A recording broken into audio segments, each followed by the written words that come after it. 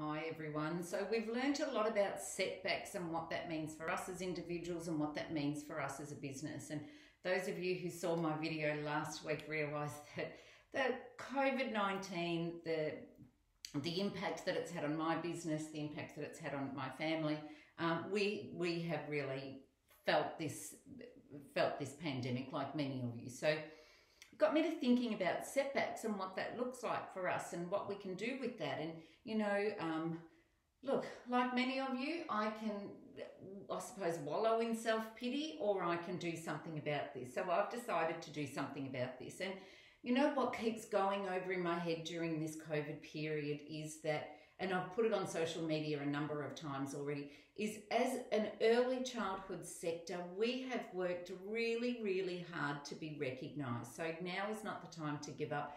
We, um, there's commercials on television congratulating us in the early childhood sector. You know, that's stuff that we've never seen before. We've never been held in this regard before. So although I believe and I know and I feel that there's so many setbacks facing our sector right now, I know that firstly, I don't know whether you've seen that Cate Blanchett capture, capture on Foxtel right now. You never know the strength of women, and we are predominantly women in this sector, but you never know the strength of women until you put them in hot water. So I think we are a little bit like phoenixes, and we are rising out of the ashes, so to speak. I think this is.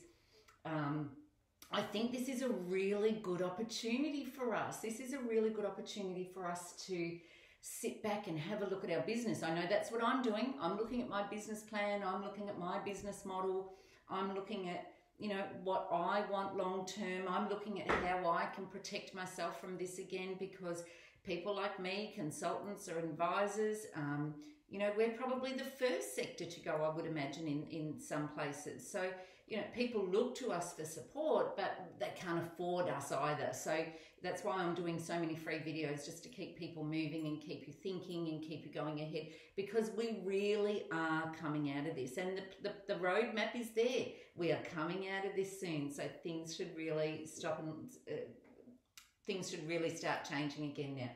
Um, I'm going to do some marketing uh, information because services, I've seen some educators actually advertising their vacancies, and I've put that question out there why that would be happening right now. Um, and the feedback was, you know, it's a sound business decision and those sorts of things. So, look, I could, would really challenge that from a business decision. I would think if you are, uh, you you can't cater to that market. So why are you advertising to that market right now? So what I would advise you to do, so I'm going to do some marketing strategies for you so that you're not just advertising yourself as a vacancy, you're advertising yourself as a as a value add, you're advertising yourself as a service, you're advertising yourself as accessible. So when the time comes, you've built your reputation, you've built your branding. And that's probably more long term than just advertising for a vacancy. Because if, if a family sees a vacancy today and they don't need it, they're just going to, off they go. If they, if they need a vacancy in I don't know, six months' time or whatever, and then they see a vacancy, they'll take that one that's advertised. So either you advertise your vacancies every day, which is wasted money, or you put a marketing strategy in place, which is around your branding, which is around your philosophy, which is around all those sorts of things. So that's where your longevity comes into it. So if you've got if you impact me as a as a as a family right now through your advertising, then you're not just saying that yes, I have a vacancy there you're saying that this is the service I can offer. So if you put that in my head as a family, if I don't need you now, but I need you in six months' time, what am I going to do? I'm going to ring you and I'm going to say, hello FDC service, hello FDC educator, can you please help me? I've heard good things about you, da da da da da da. So it, it gives you that longevity. So I'm going to put some things together for you for that. So hopefully, you know, while we're in our downtime and doing all sorts of things. I'm working on my own marketing strategy as we go. So, you know, this is just part of business. So I, I want, um, I want people to be prepared for the roadmap out. So I'm trying to prepare myself for the roadmap out. Um, so anyway, going back to where we started, setbacks. Look, I suppose they can make or break you. And um, I had a conversation with my girlfriend yesterday, and I said the COVID will make or break many of us. I refuse for me to be one of them, so I am picking myself up and I am moving forward and I am doing the best that I can.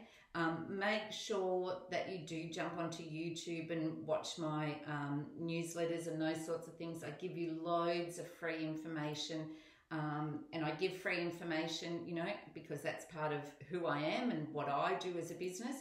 Um, so make sure you have a look at that. But yes, our setbacks have been setbacks, but they have given us an opportunity to improve. They've given us an opportunity to reflect.